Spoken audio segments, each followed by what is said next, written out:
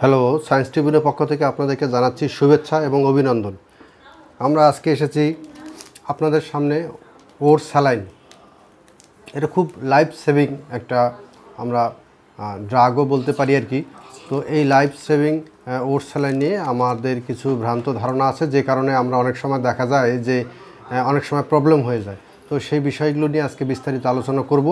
তো বিষয়টা হচ্ছে যে, ওর স্যালাইন হচ্ছে যে আমরা ডায়রিয়া কলেরা বা বমি পাতলা পায়খানা হলে আমরা ওর স্যালাইনটা খাই, যেটা হচ্ছে ওরাল রিহাইড্রেশন সলিউশন, যেখানে থাকে হচ্ছে পানি, গ্লুকোজ, সোডিয়াম এবং পটাশিয়াম লবণ আর কি।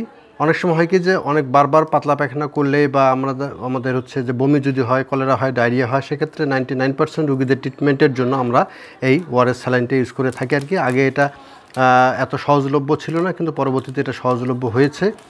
তো এখন এই ওয়ারেস স্যালাইনটা কি করে? যে সেটা হচ্ছে যে আমাদের সাধারণ মানুষ এবং সাধারণ মায়েরা বাচ্চাদের ক্ষেত্রে যেটা করে সেটা হলো যে অল্প পানিতে এটা গুলায়। এটা কিছু নিয়ম আছে যে হাফ লিটার পানিতে এটা গুলাতে হবে অথবা প্যাকেটে যে পদ্ধতি আছে সেই পদ্ধতিতে এটা বিশুদ্ধ পানিতে গুলাতে হবে।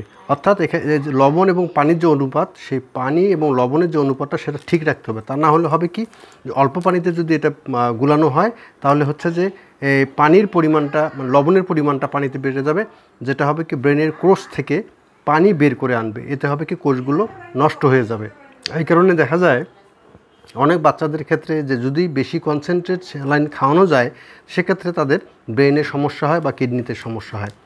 এই জন্য সবাইকে বলব এই গরমে যারা খেটে খাওয়া মানুষ, যারা রিক্সা চালায়, যারা পরিশ্রম করে, তারা অবশ্যই স্যালাইন খাবে, তাদের ইলেকট্রোলাইট ইমব্যালেন্স হয়ে গেলে সেক্ষেত্রে করবে কি? অবশ্যই সেটা হাফ লিটার পানিতে। আমি বারবার বলছি, কোনোভাবেই হাফ লিটার এর কম পানিতে ওর স্যালাইন গোলানো যাবে না আর কি এটা হচ্ছে আমরা করি কি? আমরা অনেক সময় আমাদের একটা ভ্রান্ত ধারণা যে আমরা কম পানিতে এটা গুলিয়ে খেলে তাহলে মনে করি যে আমাদের কি হবে?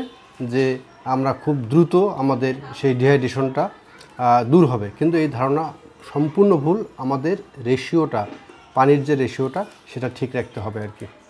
আমি এটা প্র্যাকটিক্যালি দেখাচ্ছি আপনাদেরকে। এখানে আমি হাফ লিটার পানি নিয়েছি। পুরো হাফ লিটার পানি নিয়েছি। সে হাফ লিটার পানিতে একটা বিশুদ্ধ পানি সেই বিশুদ্ধ হাফ লিটার পানিতে আপনি করবেন কি? এই একটা ওর স্যালাইন। নেবেন। নিয়ে ওর স্যালাইনটা এখানে পুরোটাই গুলাবেন। এবং এই ওর স্যালাইন কখনও বারো ঘণ্টা বেশি এটা ব্যবহার করা যাবে না, ফ্রিজে রাখা যাবে না বা গরম পানি দিয়ে কখনো এটাকে গুলানো যাবে না, সবসময় ঢেকে রাখতে হবে। বারো ঘণ্টা পার হয়ে গেলে তখন আপনি এই স্যালাইনটা কী করবেন? আপনি এটা ফেলে দেবেন, ফেলে দিয়ে আবার নতুন করে এবং তৈরি করবেন। এইভাবে সুন্দর মতন এটাকে মিক্স আপ করে নেবেন যেন সুন্দরভাবে এই স্যালাইনটা কি হয়? পানিতে গুলে যায় এবং পানিটা একটা জিনিস খেয়াল করবেন যে ঢাকা শহরে যদি থাকেন, অবশ্যই বিশুদ্ধ পানি নেবেন। আর ঢাকার বাইরে হলে টিউবওয়েলের চাপের পানি সেটার জন্য বিশুদ্ধ হয়, ভালো হয়, আর্সেনিক মুক্ত হয়। তাহলে সেই পানিটা আপনারা এই স্যালাইন তৈরি করার ক্ষেত্রে ব্যবহার করতে পারেন আর কি। তো বন্ধুরা, আজকে ছিল এই বিষয়টি। আপনারা অবশ্যই এই বিষয়টা খেয়াল রাখবেন এবং আমি সাধারণ মানুষ যারা আছেন, যারা অল্প শিক্ষিত বা কম শিক্ষিত মায়েরা, তারা অবশ্যই অবশ্যই অবশ্যই হাফ লিটার পানিতে এই ওআরএস স্যালাইনটি গুলিয়ে খাবেন। যদি আপনারা এটা না করেন, তাহলে আপনাদের কিডনির সমস্যা হবে অথবা বাচ্চাদের ক্ষেত্রে ব্রেনের সমস্যা হতে পারে।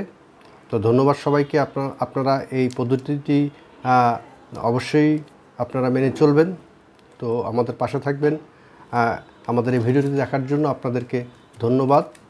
আর আমাদের এই চ্যানেলটিকে লাইক করবেন, সাবস্ক্রাইব করবেন যেন পরবর্তীতে আমাদের এই ধরনের আরও ভালো ভিডিও আপনারা পেতে পারেন। ধন্যবাদ সবাইকে।